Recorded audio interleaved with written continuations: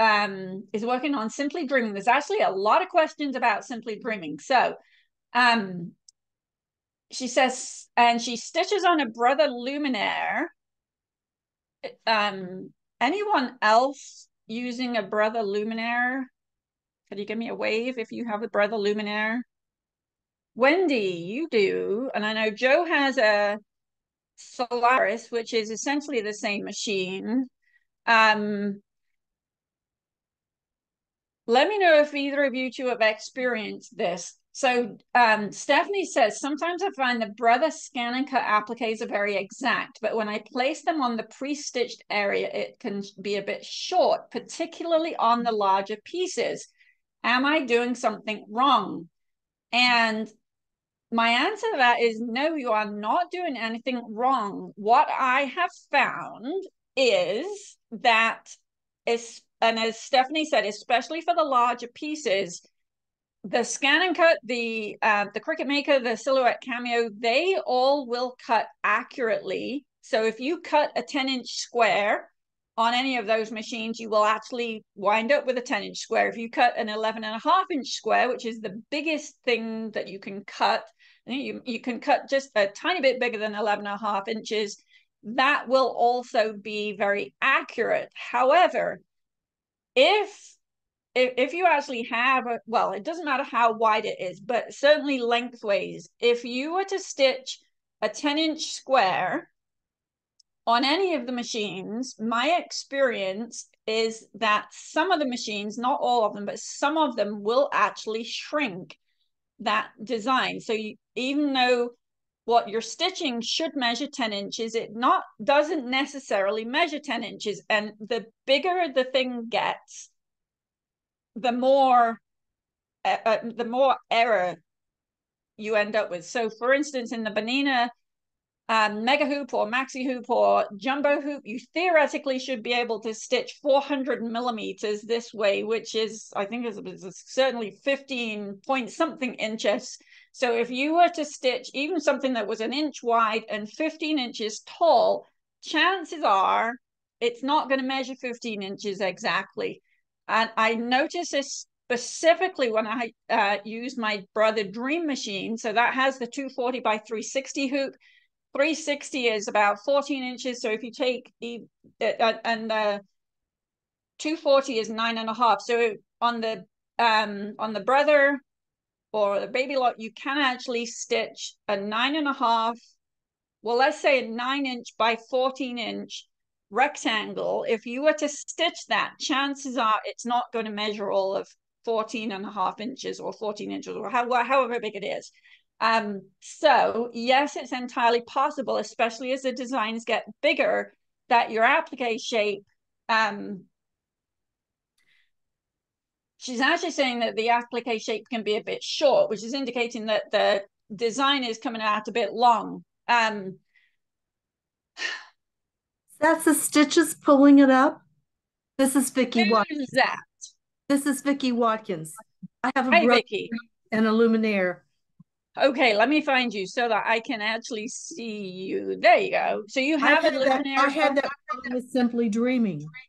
And it was pulling, it pulls my designs in and then it doesn't cover the edges.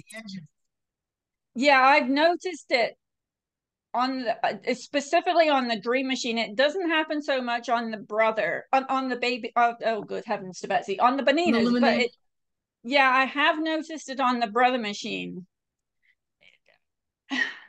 And yes, not, ScanNCut. All together, sure, but I'm the ScanNCut is cutting accurately. It's the machine that is pulling up the stitches. When it when it stitches down, is it kind of pulling the fabric in? Maybe we need to make our FCM file a tiny bit bigger.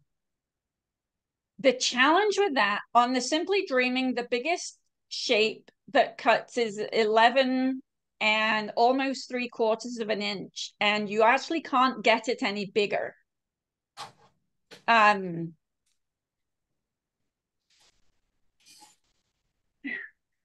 it's not enough that makes a difference in the finished thing by the time you've trimmed it. But there is definitely something once you get above 10 inches there is definitely a difference if you if you examine the the shape and the what stitches and if you even if it's just a simple outline as you know like a single stitch outline it can be different. It, it can be a different size. I don't know if you guys remember um what were we doing? There was a um oh my goodness i can't remember what we were stitching but there was a time la- i think it was last year when i asked people if they would be willing to stitch out um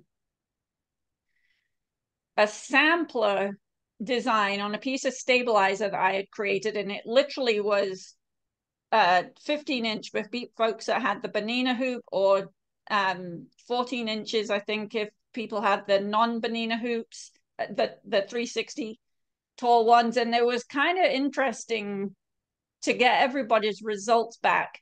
And i can't remember at the moment why we were doing that but i was curious about how much each machine would shrink.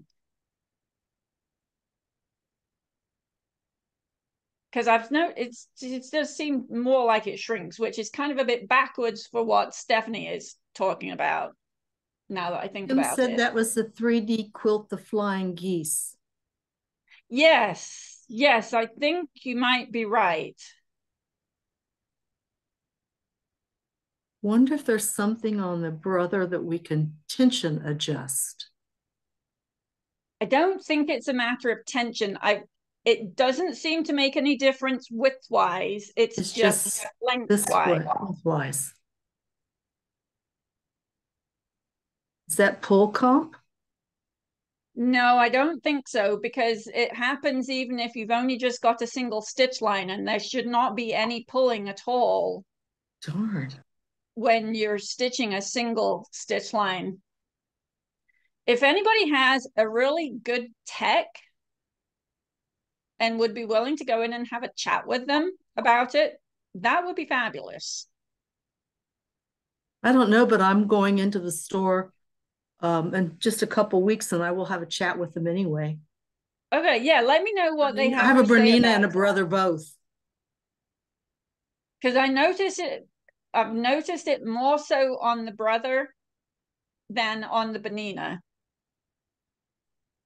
And I'd love to know what the um what what the compensation could be.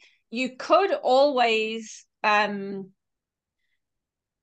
modify the design. It kind of, you know, just scale it ever so slightly, but that you, you know, shouldn't have to do that. And you shouldn't really have to do that. Exactly. No. Let me just see. Yeah, Rosie's saying, can you calibrate the machine? Um you shouldn't have to do that either, but this sounds like it. Yeah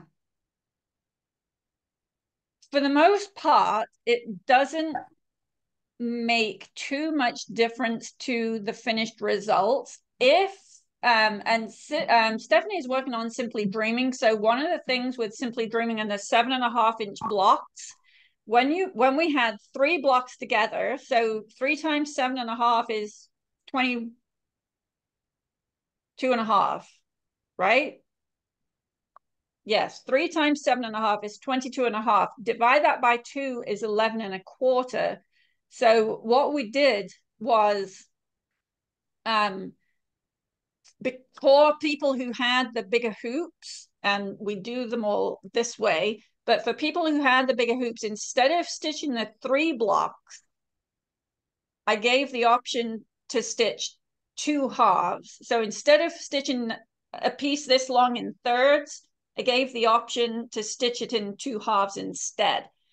And that, so uh, 11 and a quarter inches is, well, it, my, it, at 11 and a quarter inches, it's more likely to show up a slight error than it is at seven and a half inches. So if you have a big error, 11 and a quarter inches, then you can, and simply dreaming, then you can always just go back to the seven and a half inch blocks but it would be really good to figure out why it happens, and I've definitely noticed happening. So, it, yes, Vicky, if you're actually going to be in talking with your tech in a couple of weeks, I'd love to hear what they have to say about it. And I can dig out that um, sample design that I created where I was, you know, able to measure, and I can send that to you as well if you like. I can do whatever. I work the okay. time. Well, if you could draw me an email and remind me, I'll mm. send you the design. And then if you'd be willing to mention it when you go in, that would be fabulous. Yes, I know the owner pretty well if she's if she's in that day.